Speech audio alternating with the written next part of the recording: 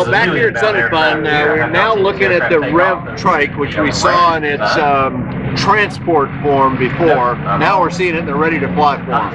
Dan Johnson talking with Larry Mednick and looking for a few more details about this interesting creation. But a little background.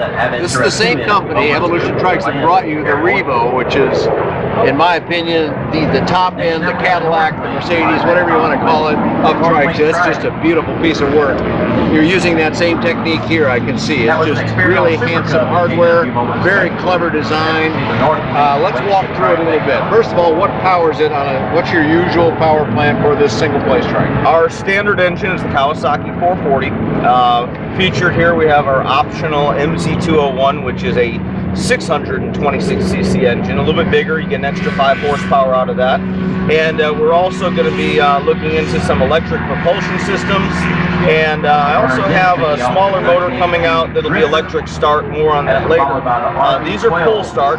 The machine is to I see it's right over your head here, so it's pretty easy to get at. Yep, you can start from the pilot seat, which is pretty nice. And uh, right now we are at the maximum legal weight. Um, you can have the big tires with the parachute, which gives us a 24 pound weight allowance. Parachute doesn't weigh 24 pounds. Right. You can go with the small tires without the parachute. Or, like I said, we are working on a slightly smaller motor with electric start that'll still make the Part 103. But this one, as we see here, or at least configured in the stock style, will make Part 103. It just makes it at 278 with the ballistic parachute. which is perfectly permitted right in the AC guidelines. So, okay, so just a little review for those that don't know. Part 103, no pilot license needed, no medical needed, no N-numbers needed, and you can build it ready to fly. Absolutely. Excellent. Well, uh, you got some nice instrumentation here. When we saw you connect up things, uh, you got a nice little screen down here. You got switches down here, but they're all out of the way here. Nothing blocking your view. You can look down and catch the information. And whose unit are you using here? This is the MGL Extreme. This is an option, but uh, what normally comes is a digital CHT, a digital have insurance EGT with a TinyTach, which does not only tach but also your Hobbs meter. This unit gives you all kinds of stuff: VSI, airspeed, altimeter. It's brilliant color, and it even has GPS. No moving map, but it actually uh, does allow you to plug into an airport, tell you how to get there.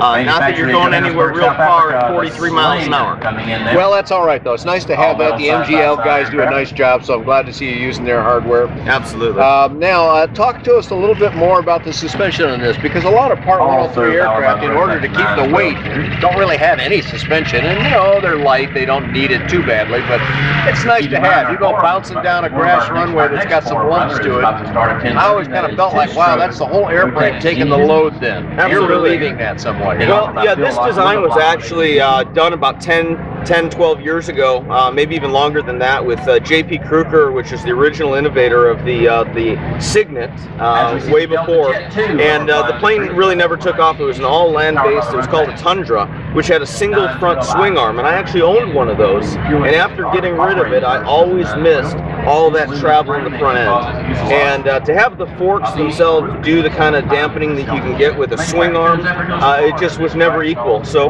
we designed in an actual swing arm, and we use four composite flex rods here, Oh, I here, see. That's what that is. and we have two in the back. So the entire unit is using four flex rods for all-wheel suspension. And this is a true bush trike. Uh, this will, in a, a STOL situation, short field takeoff and landing, this machine will compete with the best aircraft out there, and that includes some that are uh, six figures at this point. Well, very cool. I'm looking behind your head here, Larry, and I'm seeing that this construction back here where my hand is uh, relieves a common problem on many trikes. And there's some wonderful trikes, but one of the problems they often have is a mast right behind your head.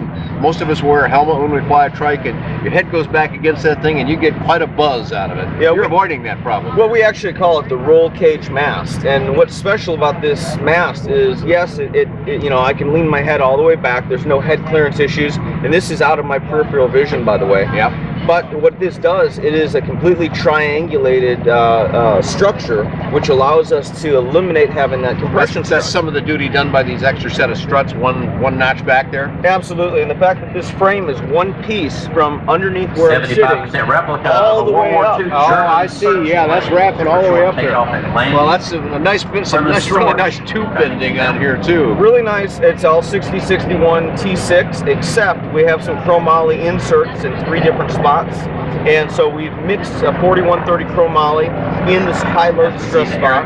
We've used the lightweight aluminum where we could get away with that. And overall, we have built a very, very robust part one and two. How long have you been in development? Next aircraft is also a This is a lot of 75% replica. It's a very original trike. The trike's been around a while. There's a lot of variation, so to do something different is nothing small. Uh, believe it or not, the concept of unplugging the front end and having a triangulated mast where the back wheels would leave the ground and the engine would counterbalance so that anybody could put the wing up and down easily, I've had in my mind since before the Revo's inception. Is that right? However, uh, we were That goes back a few years now. When did the Revo come out? uh, Just to put it in six years at perspective. Sun and Fun, uh, six years ago at Sun and Okay, Fun that's here. right. Um, and then basically we were working on a two-place version, and it was just at Oshkosh last year that I, uh, my girlfriend Amy was flying the Revo back from Oshkosh, so I had several hours, about eight hours a day for two days, to sit in the back daydreaming. And by the time I got back from Oshkosh, I had designed this aircraft in my head. I worked with a good friend of mine, um, Dan Saunders, who is a uh, SolidWorks expert. We put this thing into SolidWorks, and in one week, with the SolidWorks drawings that we had created, uh, we were able to, at the Power Shoot factory, build the rolling uh, prototype. Now, I thought I was going to get to take it home because I was really excited. I built this machine because I wanted one. Ah, Not okay. because I thought other people might like it as much as I wanted one. And this is in my head what the Revo wasn't. It was to fill in this void that I couldn't do the things that I could do with this with the Revo. So I couldn't take it home because we had to build all the jigs and uh, it, it got very complicated after that. We can produce Yeah, one all of this these frames. fancy bending and whatnot. You don't just pull that out of a box. So we have a, a, an incredible jig system. We can produce a frame a day, and uh, all the holes are going to be identical. We use a lot of CNC parts on this, and uh, that took the longest part of it. But here it is at Sun and Fun in April. So under a year of uh, actual development, thanks to SolidWorks and some hard work. It's amazing how uh, small airplane companies, as all of these are out here, can use that high-end software that, oh, 10 years ago, I was only for Boeing or whoever, and now you guys could put that to good use. That's really cool. I got to ask you, and I'll caution our viewers here, prices change. We'll give you a web address later. You'll find out what the new number is, but I, and I don't need an exact, but put me Hopefully in the we ballpark have, on this. yeah. Hopefully we have the, uh, the everything figured out, and we won't be having any price increases. Uh, 17.9 is ready to fly, and that'll come with just uh, standard instruments, CHT, GT, tachometer, hour meter, just what you need. Uh, it'll come in white, red, or yellow. It'll come with a Dacron sailcloth. The small tires, I suspect people will pay the 500 bucks to get these Tundra tires, which also comes with a, hydraulic uh, Black Max disc brake. And um, there's a bunch of other things. The parachute is a very nice option at four thousand dollars. Figure if it saves your life twice, it's paid for itself. and uh, we have an all mylar sail on this at thousand dollars. And uh, beyond that, uh, this machine as it sits is in the low 30s with a Flycom. It's an $800 uh, GA style helmet. We've got the radio in here at 1750. So we were using very, very high quality components. These are a a lot of the same uh, features we find in the Revo. And so we're not trying to really do anything inexpensive as much as we're trying to do it well. But you can go down as low as 17,000. That's the bottom end of this. That would still be almost everything we It's an excellent flying aircraft at that. You may want the seat cushion at 300 bucks, uh, give you a little more cushion. Uh, otherwise, it's a nice formed racing seat that I'm sitting on either way. And uh, it's weatherproof at that without the seat cushion. So it's your choice. So 17 into the 30s, prices change. Contact the factory, but I am really impressed, Larry. This is again some very nice work. I love the Revo all these years, all six years, and uh, now I'm in love with the Rev. So this is very cool. Nice, nice work, and I love that it's 103 and that you were able to keep it in that range uh, with the parachute, of course, which I love. So all good stuff. a lot of great information we've gotten here. I don't know that we've left hardly anything out. Um, you do have a hand throttle or not? Uh, the hand throttle is not anything we're offering now, but I suspect it's going to be a popular demand item.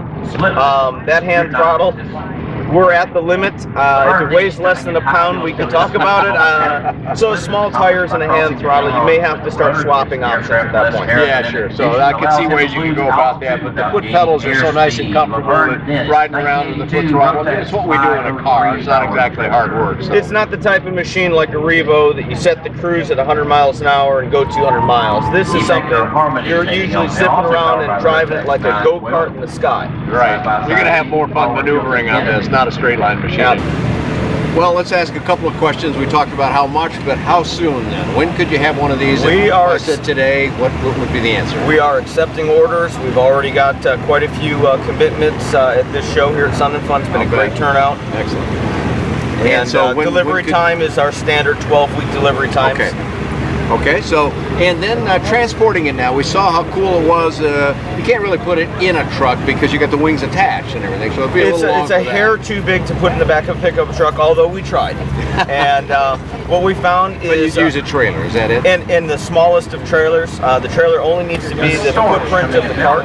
So any little Home Depot trailer that people might already have, uh, we are going to be coming out with a custom all aluminum uh, with uh, Rolls axle trailer, the highest quality, something you can pull behind your Honda. Okay, very cool. Hey, great stuff, Larry. Uh, let's talk about a website address. We'll put it up on the screen. Just tell us where to send people. Same place, evolutiontrikes.com, home of the Revo and the Rev now. All right, very good. You can find lots more about the Revo, more on this as I learn more, and all kinds of other aircraft of affordable aviation on ByDanJohnson.com. Thanks a lot for joining Larry Mednick and myself here at Summit. Summit.